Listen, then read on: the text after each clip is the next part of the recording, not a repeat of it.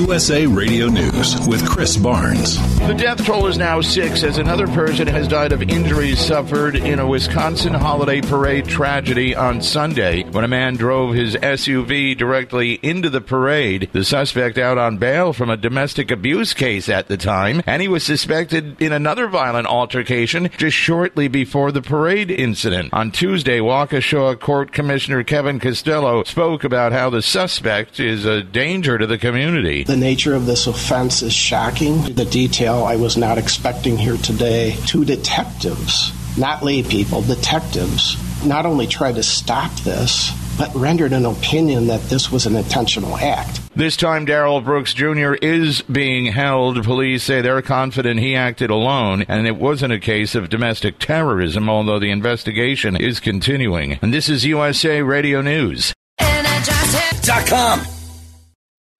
A federal jury in Ohio is finding Walmart, Walgreens, and CVS Health responsible for fueling the opioid epidemic that has ravaged towns and cities all across the nation. The decision marks the first time that a jury has delivered a verdict in a case against the national pharmacy chains.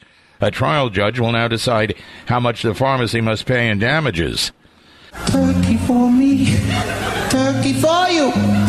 Let's eat the turkey in my big brown shoe.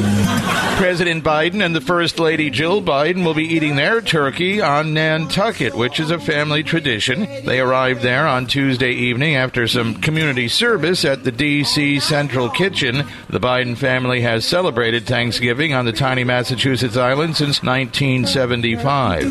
They only missed the trip last year because of the pandemic. That turkey, then I take a nap. And this is USA Radio News.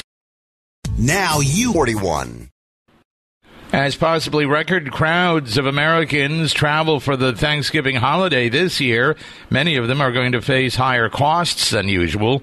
Here's more from USA Radio's Lance Pry. AAA is reporting a gallon of regular gas is going to be closer to $4 this year than the $2 paid last year. President Obama, economic advisor Steven Rattner on MSNBC says more government spending is not going to help inflation that Americans must now endure. We are running a higher inflationary economy at the moment, and so to add $150 billion to the deficit in each of the next five years is simply adding to the inflationary pressures on our economy. From the West Coast USA Radio News Bureau, I'm Lance Pry.